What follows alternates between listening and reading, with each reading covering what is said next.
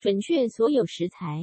热锅放少许油，将胡萝卜、土豆丁倒入翻炒片刻，再将羊肉丁倒入锅中继续翻炒熟。可适量放点白醋，将米饭倒入炒好的羊肉里，加盐翻炒几下，将炒好的米饭装入烤碗中压紧，铺上奶酪和辣椒，烤箱提前预热。将米饭放入烤箱中层，上下火一百八十度烤十五分钟。羊肉焗饭做好了。